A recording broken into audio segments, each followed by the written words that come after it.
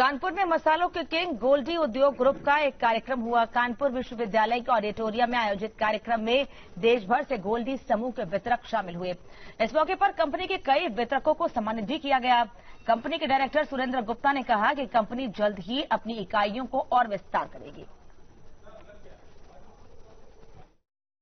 इस तरह के कार्यक्रमों का उद्देश्य, जैसा आपने जानना चाहा हमेशा एक ही हो सकता है कि सम्मान दीजिए और सम्मान पाइए।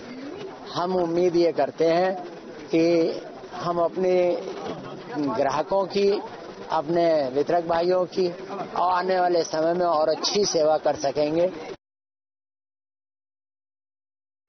गोल्डी मसाले 1980 में हमने और सुरेंद्र भैया ने शुरू किया था और सूक्ष्म रूप में, जो कि आज भारत सरकार की नीति है, उत्तर प्रदेश सरकार भी काफ़ी मदद कर रही भगवान की कृपा रही, भोलेनाथ की माँ गौरा की कृपा रही कि आज हम हिंदुस्तान में नंबर वन कंपनी के पायदान पर पहुँच चुके हैं।